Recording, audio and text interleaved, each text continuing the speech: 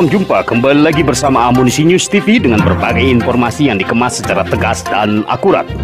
Jangan pindahkan channel Anda sebelum menyimak hingga tuntas. Kecamatan Winongan Pasuruan bersiap menuju zona hijau COVID-19.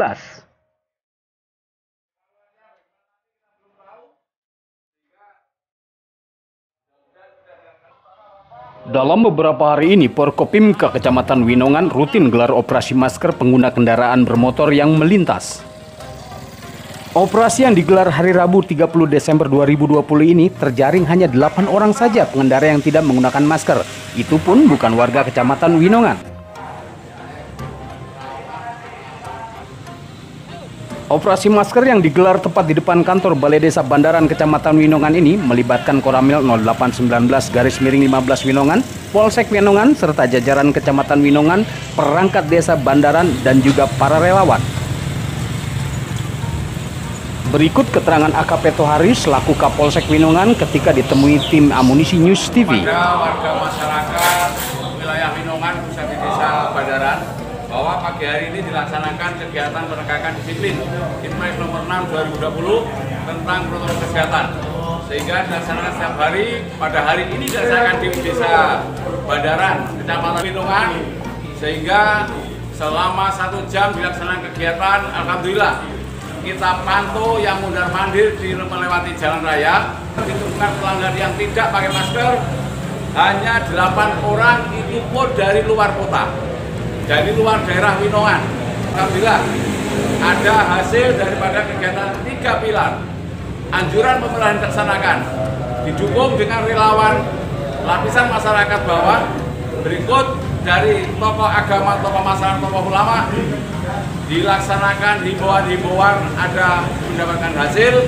Termasuk saat ini jauh menurun yang terindikasi positif di wilayah Winongan bahkan kemarin 31 sudah, sudah sembuh sudah pulang sehingga mudah-mudahan di kecamatan Dinongan akan menghijau.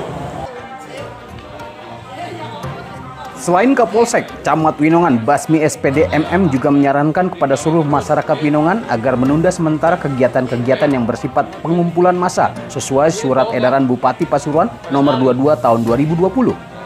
Ya, kita menindaklanjuti edaran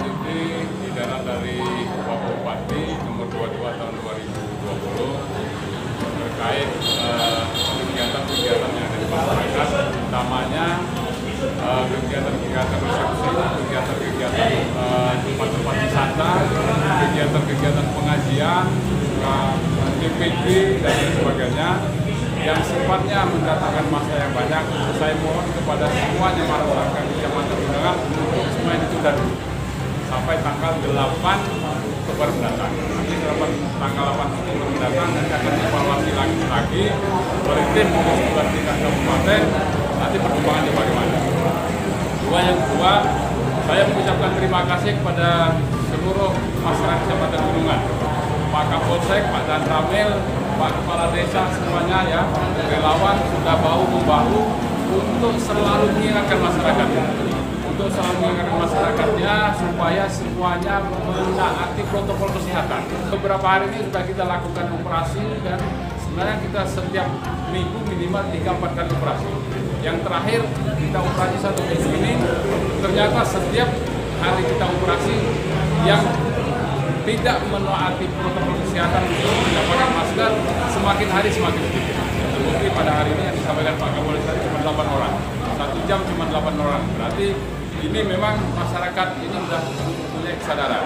Alhamdulillah. Jadi saya mohon, ayo semuanya kita gencar sama-sama, Nah, sama-sama kita sosialisasikan, sama-sama kita tegur masyarakat ini. Itu saya kira sesuai kami, mudah-mudahan semuanya masyarakat sadar kita bisa hidup normal kembali seperti tahun-tahun yang kemarin. Dalam kesempatan tersebut, Tohari selaku Kepala Desa Bandaran Kecamatan Winongan mengucapkan terima kasih kepada Muspicam yang sudah menggelar operasi masker di wilayahnya.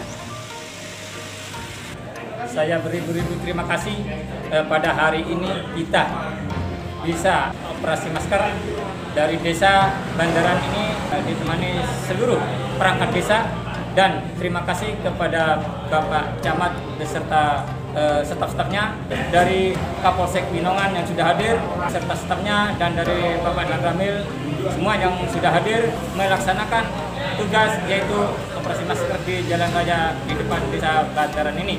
Saya beribu-ribu terima kasih kalau ada apabila kekurangan ke saya kepada teman-teman dari Mustika kami mohon maaf yang sebesar-besarnya.